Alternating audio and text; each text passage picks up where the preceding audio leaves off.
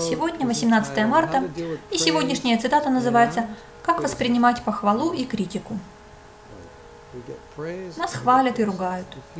Если вы в материальном мире, вас будут и хвалить, и ругать. Когда кто-то критикует вас, он помогает вам стать смиреннее соломинки. Когда же вас прославляют, то вам говорят о тех качествах, над которыми вам стоит поработать.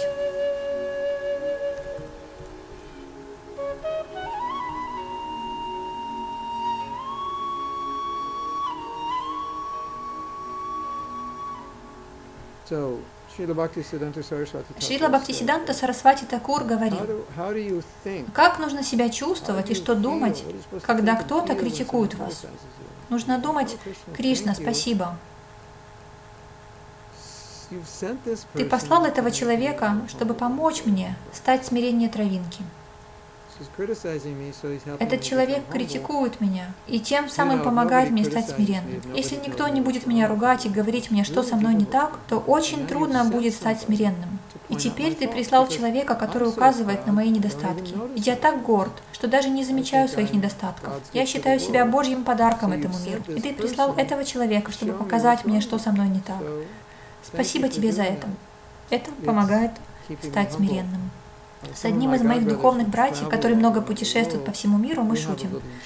Когда мы возвращаемся в Америку, особенно в некоторые храмы, Американская культура отличается от европейской.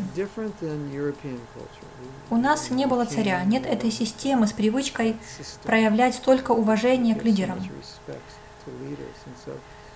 Нам всем нравится приезжать в некоторые храмы в Америке, потому что там в тех храмах мы становимся не такими важными. И мы все шутим на эту тему. Когда я путешествую, мне не дают и палец о палец ударить. Но когда я в этом храме, то оказываюсь в самом конце очереди за просадом. И мы не критикуем, нам на самом деле это очень нравится.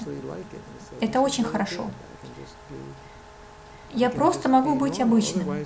Иначе я буду считать себя особенным, потому что люди относятся ко мне как к кому-то особенному. Вам наверняка интересно, что же это за храм. Он называется Храм Смирения. И если вы хотите стать смиренным, приезжайте в этот храм. Ну, может, не совсем так, это шутка. Но нам, тем, кто много путешествует, здесь нам хорошо. Нас уважают и все такое. Но в Америке не так. И вторая часть. Что нужно думать, когда люди вас прославляют. Нужно думать, о Прабу, я не такой, это не про меня. Но в сознании Кришны понимание таково, что мы думаем. Прабу или Матаджи, смотря кто нас прославляет, говорит мне о том,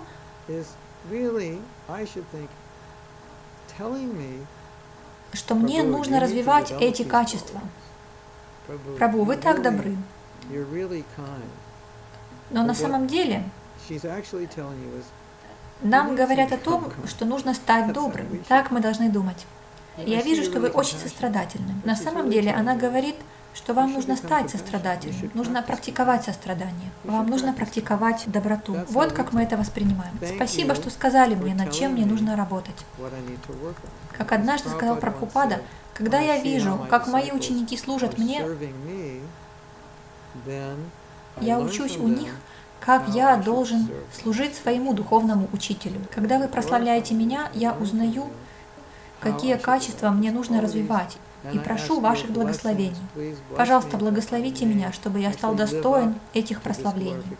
Каким-то образом, благодаря вашему сознанию Кришны, вы видите во мне эти хорошие качества, несмотря на то, что у меня их нет. Но по вашим благословениям я надеюсь, что смогу работать над этим, и когда-нибудь они у меня разовьются. Вот как нам нужно думать. Если кто-то критикует нас, это хорошо для нас, это помогает нам сохранять смирение. Если же нас прославляют, то показывают нам путь, по которому нам нужно идти. Нам показывают, какие качества нужно себе развивать. Поэтому в любом случае это благословение.